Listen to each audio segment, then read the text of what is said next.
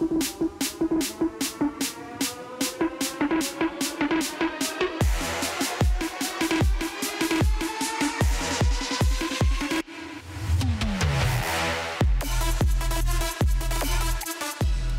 Yeah, cricket, love the cricket is where we start this Thursday edition of the Sportsmax Zone. Australia are in sight of victory in the first test against the West Indies at the Adelaide Oval. The Windies produced a respectable bowling performance, but then failed to follow up with the bat in their second innings, putting the Aussies in a good position for a day three result. The Aussies resumed day two on 59 for two in their first innings, replying to 188 made by the Caribbean side. Here's Gerard Morrisili with the day two recap. As Australia's number four and Usman Khawaja and Kraigg Brathwaite. Guyanese speedster Shamar Joseph picked up where he left off on day one, producing a gem of a delivery to get rid of Cameron Green for 14. That was the catalyst for a successful session in the field. Justin Greaves removing Usman Khawaja for 45 and the Kemar Roach taking care of Mitch Marsh for 5, limiting the Aussies to 85 for 3 as they went to lunch at 5 for 144. After lunch, the Caribbean side continued to plug away. Graves, maybe the surprise package, ended with 2 for 36. The right arm medium getting rid of Alex Carey. Joshua Da Silva holding on this time. A neat catch as well. 6 for 168 at that stage. West Indies may be even harboring hopes of an unlikely first innings lead. But the number five batsman Travis Head was going about his business in fine style. The left-hander adding 54 for the seventh wicket with Mitchell Stark before Shamar Joseph struck again. The 24-year-old getting his fourth wicket by removing Stark for 10. There was no stopping Head though. He'd bring up his second hundred against the Windies. Through the covers for four. Travis Head, test 100, number seven. They have come in their thousands here to the Adelaide Oval and their golden boy has delivered for them. The left-hander went on to a top score of 119, coming off 134 deliveries before Alzarri Joseph had him caught by Kavem Hodge. And then it was time for Shamar Joseph to bring up a milestone of his own. Straight through, Shamar Joseph. A fifer on his test match debut, and boy has he deserved it. Australia eventually bowled out for 283, a first in his lead of 95. Sadly for the Windies, though, their batting lineup could not replicate the brilliance of their bowlers. And again, Josh Hazlewood proved too much to handle, snatching the first four wickets. It started with Tagenarine Chanderpaul for a duck, and then Captain Brathwaite for one.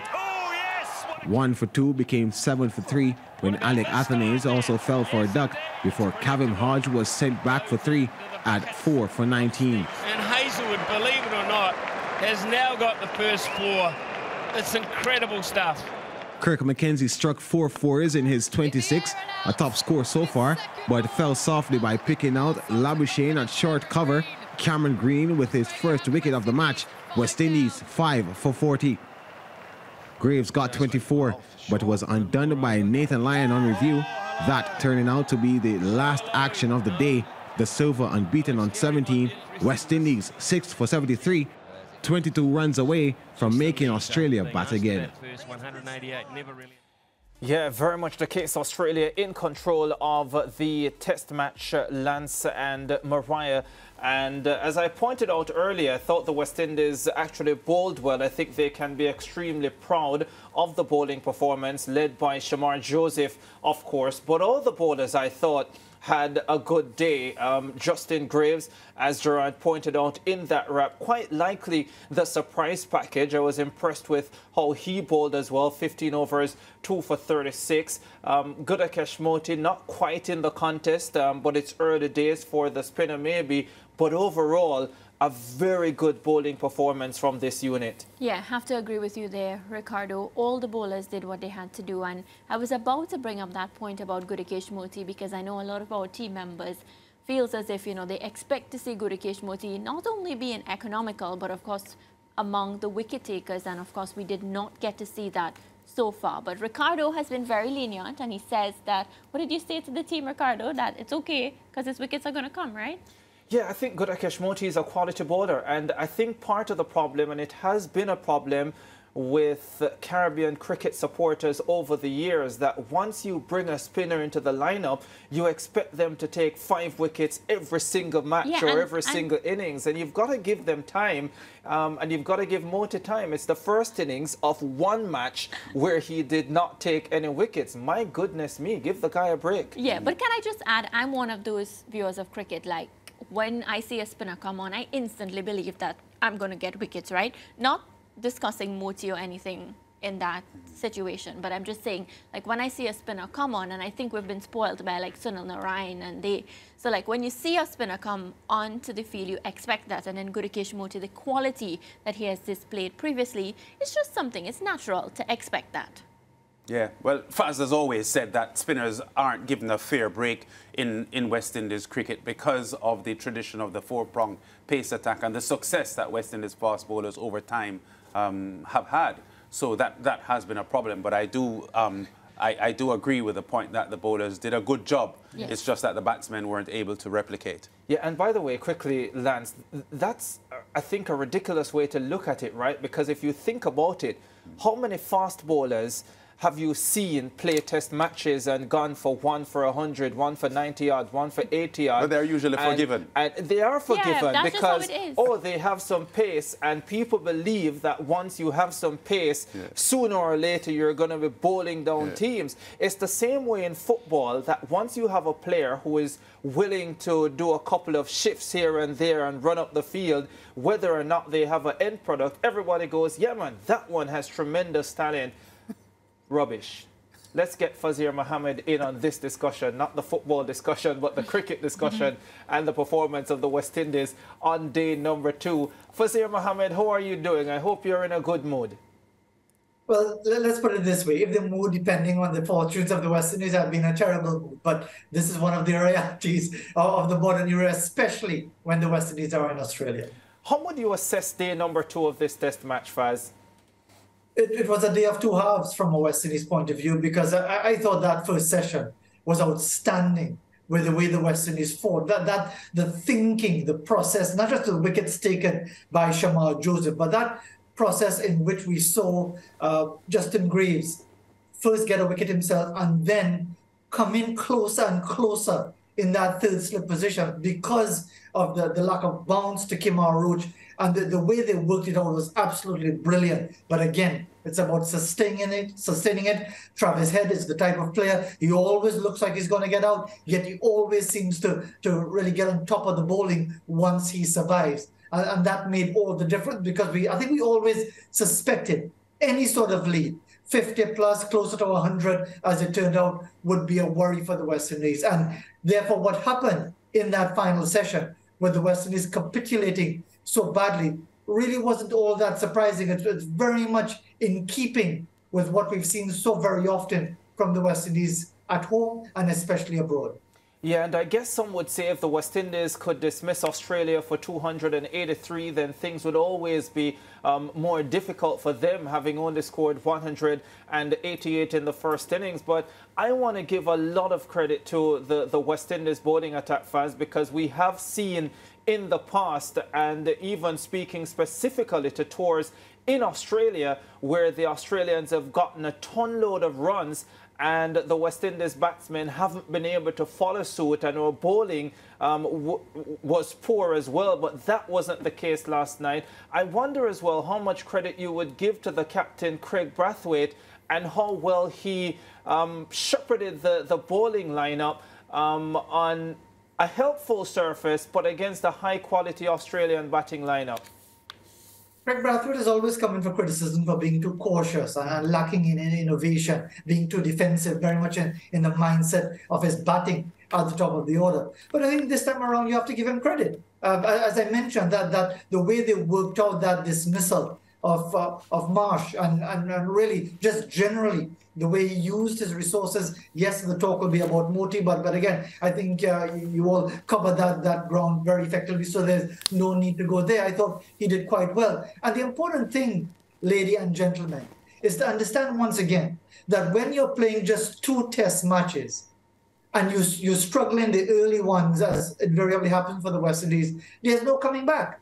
Whereas if you were playing three tests or four tests or five tests, and, and had matches in between, which doesn't happen anymore. We appreciate that reality, but we also appreciate the manner in which the game has now gone, where only Australia, England, and India play five test series, that there's really no room for these players to develop their skills in an Australian setting in Test match cricket, probably for the next five or six, five or six years, because West Indies are not in demand anymore, and and therefore you have that situation. So really it, it is one in which uh, the players have limited scope limited opportunity to to really develop themselves in these circumstances in these conditions and as you said quite correctly just over a year ago the west indies were in australia for two test matches and the aussies batted for virtually the, first two days of, the, of those tests and, and, won comfortably in the end so th- this bowling effort was, was certainly very very commendable yeah, and Faz, just to move away a bit now from the bowling effort, you touched on it briefly when you spoke about Kraigg Brathwaite being cautious, of course, you know, um, when batting and, of course, making his decisions as captain. What did you make of the manner of the dismissals for the Windies batsmen? A number of different things here, Barad. First and foremost, and we've talked about Josh Hazlewood already. You know that is the line he's going to bowl. And again, Tagenarine Chanderpaul played at it, got the outside edge, maybe a bit slow reacting. We, we saw that in the dismissal as well of Kavem Hodge. He seemed to be on the move going into the drive and therefore edge to slip. Uh, he does play that way. And again, credit to the Australians because he does have that jerky, stodgy way of playing, pushing half forward. It got a bit of seam movement, took the, the, the interface of the bat, and was a very good catch taken. Uh, certainly for Travis Head, he was quite some distance away at short leg that allowed him to react, but still it was a very good catch. But overall, what you're seeing again is a, a situation where players with talent players obviously with ability, with shot making ability, but lack the know-how of batting for long periods, lack that that comprehensive understanding based on actual match experience of what is required to take on this type of disciplined bowling for, for long periods because getting caught at extra cover, short extra cover, as happened to McKenzie, the, these sorts of situations speak to that, that lack of awareness of the situation that you're in, where basically you've got to occupy the crease, yes, you've got to score runs, but you've got to be mindful of the situation that you're facing, as we saw with that hook shot from Athanaze, and, and there that point I was making about Kavem Hodge not really being to the pitch of the ball and driving. The Aussies will eat you up, breakfast, lunch, and dinner, playing like that. So again, it's about whether or not these players will have the opportunity to benefit from this exposure because it's going to be a heavy defeat, likely as well in the second test match in Brisbane next week. Will they be able to really have the chance to benefit from this sort of exposure? Yeah, and as you know, I want to backpedal just a bit because um, as things now stand, there is hardly any positives for the West Indies outside of how diligently the bowler the bowlers took on the, the task yesterday. And I want to emphasize that without Travis Head's innings, this game could have looked completely different. We talk about in batting partnerships being being the key, but there weren't many significant partnerships because the best partnership the Aussies had would have been the stand between Stark and Travis Head, only 54 runs. And outside of uh, Travis's uh, century, I think Khawaja with 45 was the next best scorer. I'm saying that to say that outside of Travis Head's pivotal 100, this game could look completely different. It could have. But the point is, and again, as you mentioned, Khawaja, remember he was dropped on free. Yes. A relatively, relatively straightforward chance to Joshua Da Silva. So, so again, it, it's about really grasping your opportunities. I thought the West Indies bowled well. Yes. I, I, I really, not just Shamar Joseph, and credit to him as well. I think Shamar Joseph is going to be a real shining light.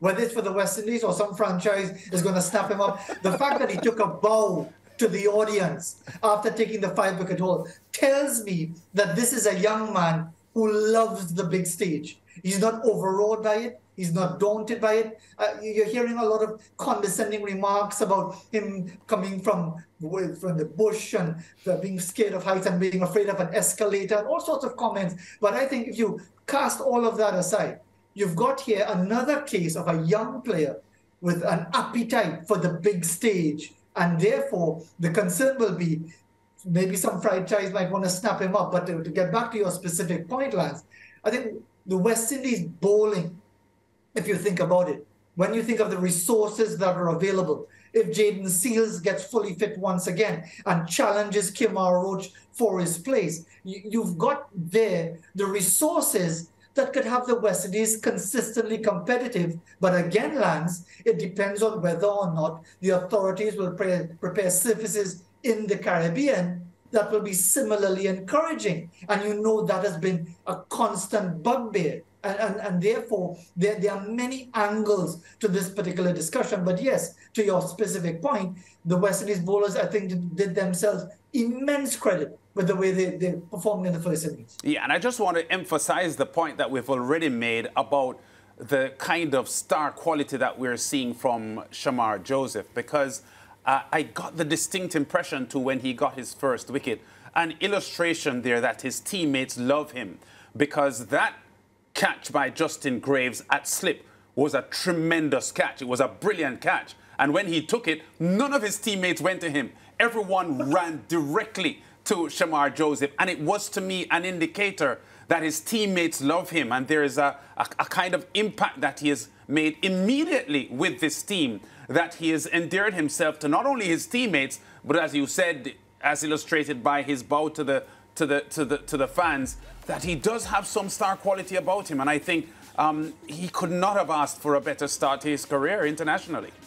Absolutely. And, and therefore, whoever's around him, whoever's guiding him, whoever's ever mentoring him, whether it's back home in Baracara, whether it's in Georgetown, whether it's with the squad right now, whether there's any mentor that he looks up to, they should remind him, as Rohan Kanhai reminded Brian Lara after his 277 in the Sydney Test match of 1993, that your next inning starts at zero, and therefore his next spell starts at naught for naught and it could be a very different experience. So, so therefore, it's about yes, enjoying the moment, enjoying the, the adulation, reveling in the conditions which he hardly would have ever experienced uh, anywhere in the Caribbean, which he did, of course, in South Africa, which is why he was so successful. But ultimately, it's about someone who wants to be part of the action. And when you have someone like that, who is not overawed by the challenge, who yearns for the contest and revels in the atmosphere, that is someone who you think can go very, very far in the game, whether internationally for the West Indies or, as, as always seems more than likely now, with some franchise somewhere in the world. Well, Fazeer Mohammed, we surely hope that his next spell does not start in the second test because that would mean that the West Indies would likely have lost by an innings in this opening match and it would be over by lunch on day number three and we're hoping that it will go beyond lunch. Of course, Faz, we had predicted that it would end in three days. Um, I don't know if Lance and Mariah still think that we will go to a fourth day. Um, that would require some heroics, maybe from Shamar Joseph at number 11. Um, but it looks as if we're on course to be right, Faz. Not that I'm gloating. He is gloating. No, you, you, never, you never gloat at all. You know, just very quickly, when this happens, when the West Indies are six wickets down for next to nothing, very often against Australia, we all stagers always remember a seventh wicket partnership of 347 unbroken against Australia in 1955, the first match that Tony Cozier ever covered as a 15 year old journalist. So even as unlikely as it is, we live in hope. Yes, thank you for that, Faz. Thank, thank you so you much. very much, Faz, for giving Lance and Mariah and the entire West Indies hope. Let's go to a break on the Sportsmax Zone. We'll be back with more.